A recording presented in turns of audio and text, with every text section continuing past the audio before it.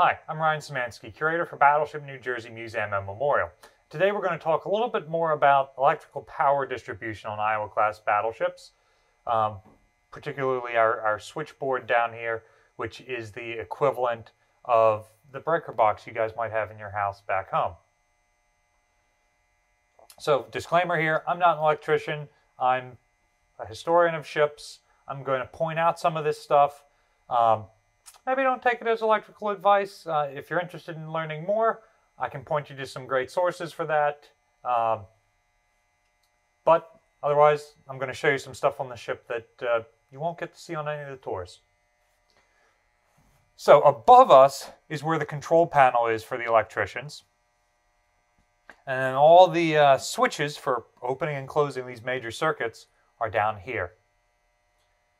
They're all locked shut with these uh, Navy locks, and they've got these big old danger high voltage tags on them. We're currently in engine room number three because this is the one where shore power comes into the ship and is then distributed throughout the rest of the vessel. When they set the ship up as a museum, they had to cut through the lock with some bolt cutters to open up uh, this particular switchboard.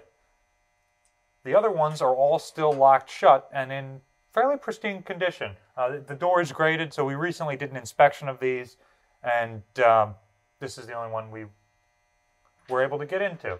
So there are some threaded pieces here to hold the door shut. Remember, we're on a ship that's moving, pitching, and rolling, and you don't want some poor electrician to get thrown in there. Uh, because you can close a circuit with your body if you're not being careful.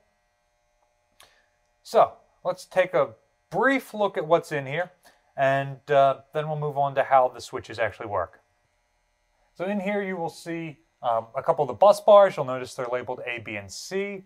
If you watched our ground detection video, linked in the description below, you'll see that uh, those are the three phases of 440 voltage power that's coming through here.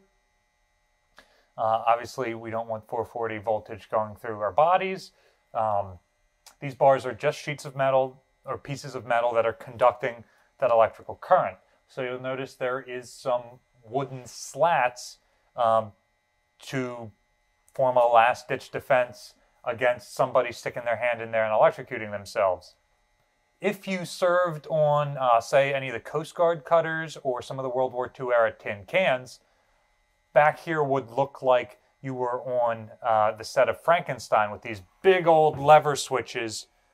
And when you throw them down, it closes, and that switch is closing the electrical circuit. And when you pull them up, it opens the circuit, i.e., these switches are no longer connected. Uh, back here, you're just seeing the bus bars, which are part of the closed system. I'm going to show you the switch for opening them up here. So this is your switch for tying into bus bar number one in engine room number one. So if we want to cross connect what's going on in engine room number one to the power in here, because, well, because all the shore power is coming in here and we've got to send it to the other uh, switchboards around the ship, we want to close that circuit. To do that, I've got to take this handle right here and insert it into the hole, and there, there's a little uh, hole in there that this peg inserts into. And notice it's removable, so this isn't just in the way. See how narrow this walkway is? Imagine some electrician trying to walk through here without tripping themselves and without like accidentally leaning on this and closing something they aren't trying to. So once this is in there, I can push it up to open it, i.e. cut that power, which would then kill power to about a quarter of the ship, or I can drop it into this position to close it. Also got this dial right here, which allows me to lock or unlock this in the closed position. Famously, some unwitting electrician tried to lock a circuit open on South Dakota during the naval battle of Guadalcanal when she was fighting Kirishima, and uh, that caused major electrical issues throughout the whole ship. So why the heck would you even want to do this? Well, one of the volunteer electricians who I work with here on the ship, uh, his destroyer was going to lose electrical power while they were going through the Panama Canal. somebody threw something on that they weren't supposed to, and uh, boom, the whole ship was was about to lose electrical power, which means they would be a dead ship that would drift right into the canal, do untold millions of damage to the ship and to the canal. Uh, so he locked it open. So even though there was more power that was supposed to go through there and was going to cause some damage, kept power going to the steering gear so that the ship was able to navigate the canal safely. So there are situations like that in which you might want things locked open.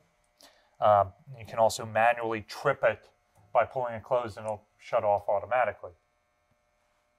Have you ever electrocuted yourself? It's not the voltage that kills you, it's the amperage. This particular one is 450 volts, which might be enough to kill you, uh, but it's 4,000 amps, which is definitely enough to do you in for. Uh, I, I've gotten about 30 amps of shock from a 120 circuit before, but uh, I'm not going near this with a two foot pole. Anyway, if you've ever shocked yourself, let us know in the comment section down below. Make sure you always have a trained electrician doing your electrical work for you. Battleship New Jersey receives operating support from the New Jersey Department of State, also from a number of other businesses and private individuals. If you'd like to continue to support us and the electrical work we've got going on around the ship, there's a link in the description below. We really appreciate your donations. You can also support the museum by liking, sharing, and subscribing so more people find out about our channel and what we do. Thanks for watching. If you'd like to spend an evening with me and other battleship enthusiasts and support the museum, Saturday, January 8th, we are hosting a meet and greet on board the ship. This starts at 4.30 and will probably run to about 9 p.m. Uh, during the talk, I'm going to answer questions from people like you.